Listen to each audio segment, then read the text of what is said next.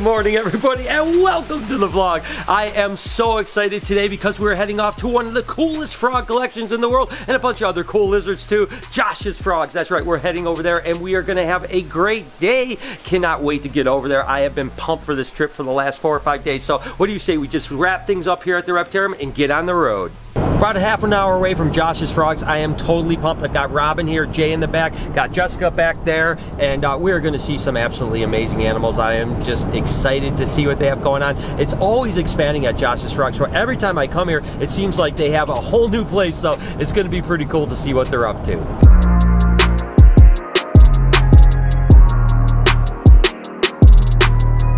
We made it to Owosso, Michigan to Josh's Frogs. And ironically enough, I am in the day gecko room. We're gonna see some day geckos, we're gonna see some frogs, we're gonna see all kinds of cool stuff. And again, like I mentioned, every time I come, it's completely different. Like this room didn't even exist the last time I was here. And look at all of these geckos. We have neon geckos, we have electric blues, we have giant days with standings geckos, and oh my God, this place is so awesome. We're gonna have a great day today. I am just super excited. You guys remember Zach, of course, he's been in the vlog before. He's uh, I like to call him the face of Josh's Frogs because Josh doesn't like to be on film. So you get, uh, you know, you're, you know, you can take care of it. Yeah, exactly. So what's been happening here, man? A lot of stuff has been happening. Um, we actually just closed earlier this week on our building, so we own this gorgeous 37,000 square foot building from the 1800s. Oh my god! And we filled it full of um, new employees, new products, and new frogs. It's um, it's crazy, dude. I'm, i was here like seven, eight months ago. I think you have like twice the amount of stuff that you did before. Yeah, uh, we've had a very successful year. Um, several years of prep went in there, and I have an amazingly talented team of animals. Up to 20 employees now. Wow. Um, we're producing a lot of really cool species really consistently.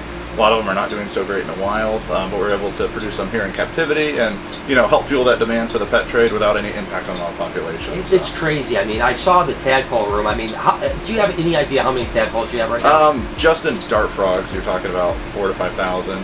Um, one clutch of white tree frogs alone was over 3,000. So there is, you know, no exaggeration, probably north of like between 30 and 50,000 tadpoles in that room right now. 30 and 50,000 tadpoles, that's insane. And uh, I love the systems, I love the way they're taken care of. I, I am taking a lot out of this, guys, I'll be honest with you. This has been probably the most inspirational trip that I've ever had to Josh's Frog. So uh, let's go see what else this place has to offer. we're actually in like the plant nursery section. We're gonna pick up some bromeliads and some Java moss for the dart frogs and a few exhibits at the zoo anyways. But uh, you know the thing that's so incredible is how diverse it is, how many categories they're in, from plants to frogs to lizards to all kinds of different stuff. It's really inspiring and it's cool because Josh just started as a hobbyist just like anyone else and it's just exploded into this insane industry. Every time I come, it's amazing how much they've grown. Literally, we were just here six or seven months ago and it seems like it's twice the size of it was last time. But even something like the plants are just cool to check out. The one crazy thing about this place is it's like a maze. I mean, uh, I lost the group, so I'm trying to find everyone, and I have no idea. I mean, there's like three floors, maybe even four floors. There's rooms everywhere. There's there's hallways. I am literally lost in Josh's Frogs. As I'm trying to find my group, I uh, came across this bearded dragon, and holy moly, this thing is absolutely huge. So I got distracted. I figured I'd show you guys really quick.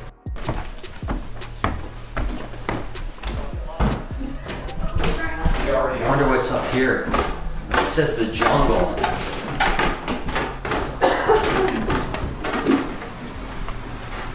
It's the plant section. Nope, he's not up here.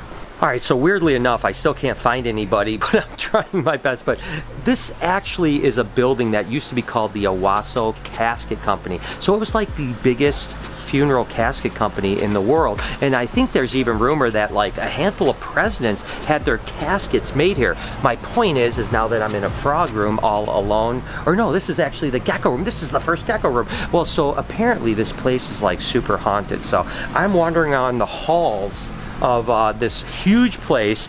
All used to be a casket place, and I'm all alone trying to find anybody because now I'm just now I have no idea what's going on, but having a good time. Just like any larger collection of animals, it's really important to have a great system in order to care for the animals, to keep the food, the water completely clean. And Josh's Frogs is definitely masterfully working the system of taking care of animals.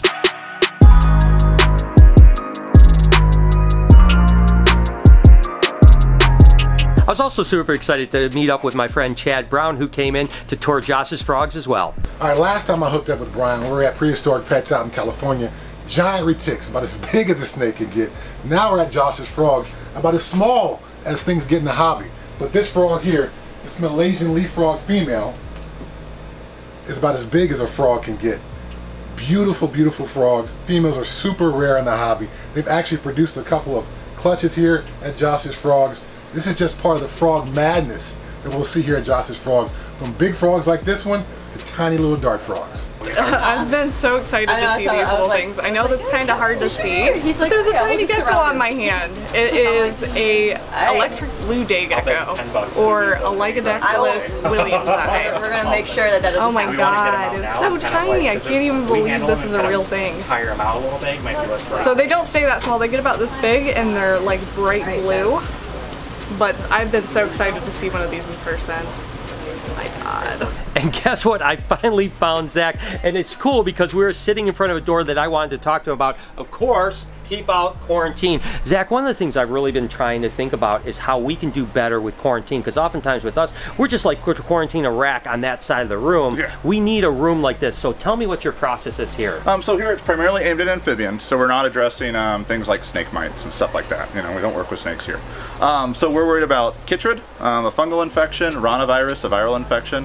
Main modes of transport with those is contact. So all new animals that come into Josh's frogs go into here. Um, good example, any of our future breeders or wild caughts we bring in for new projects to produce a lot of healthy captive bred animals come in here. They hang out for three months. Um, they receive veterinary care. We also do PCR testing, so we actually swab them, send it to a lab in Texas, and they check to see if um, the, any DNA is present that would um, indicate the um, presence of chytrid or ranavirus. So we can treat accordingly.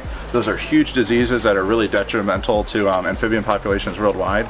And the last thing we want to do is be part of the problem. This is the last stop for the employees that work in the quarantine room. They do all of their job all throughout the animal area for the first part of the day, and then right before they go home, they come in here, they do what needs to be done, and they wash up and directly leave the building. So there's no chance of cross-contamination to any of our other animals.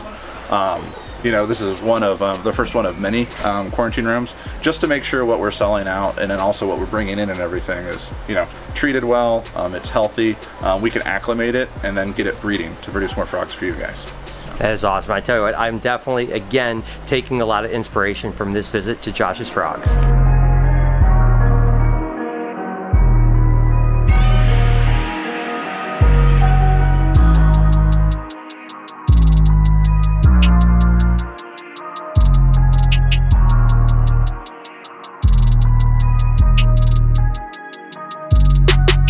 Up with Jake here. You actually have been working here for a little bit, right? Oh yeah, I've worked here for three whole days, so I'm uh, kind, so of, he's, kind of the man around he's here. Pretty, he's pretty, uh, he's pretty seasoned here, right? But actually, he has a really cool YouTube channel. I want to put a link in the description. Go show him some love. You'll probably see some stuff here at Josh's Frogs on your channel, right? Yeah. All right. So what's up with this? I mean, there are a gazillion tadpoles in here. Do you ever work in here? Or? Yeah, this is mainly what I've been doing so far. Gosh, that's crazy. So tell me, is there some system here? Or is it just? Yeah. So the oldest tadpoles are on this side, okay. and then it goes oldest to youngest and then they get pulled if they're morphing and cleaned and fed. Gosh, and, and then, all these guys are all uh, tree frog and toads. Okay, And they can be kept communally where the dart frogs will eat each other. Exactly. Well, that's awesome. Well, again, I'm going to be paying attention to Jake here because you guys uh, can see what's going on at Josh's Frogs when I'm not here, and I love this place. We're in the tadpole room, and Jessica, I mean, what do you think? This is pretty crazy, right? It's I mean, the whole thing. in here. Oh my god. So have you taken any kind of ideas? I mean, I know we talked about the leopard geckos a little bit. Going to give a little try on something like that, but what else are you taking from this? Well, I mean, taking care of frogs is obviously a lot different than it would be taking care of geckos, so we don't have to deal with all this water stuff, which is nice. Um, but when we were looking at their geckos, I have quite a few ideas to implement that might keep things a little cleaner. Just because when we use paper towel, it's pretty much instantly dirty, because if an animal tumps a water or poops, it, the cage just needs to be recleaned. So it's a lot of maintenance. We need to figure something else out. The way they have their stuff set up here is amazing.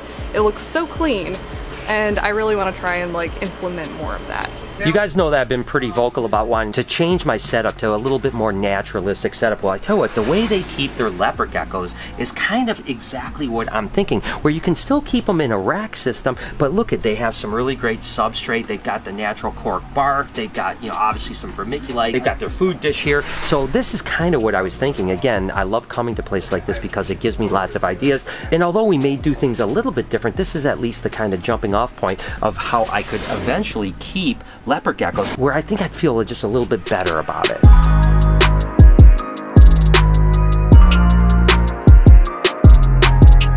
Every reptile person knows about leopard geckos, but I don't think everyone knows about these Chinese cave geckos. About the same size, nice docile temperament, but a beautiful pattern, and they've got these red eyes that in my opinion are the most beautiful in all the gecko world.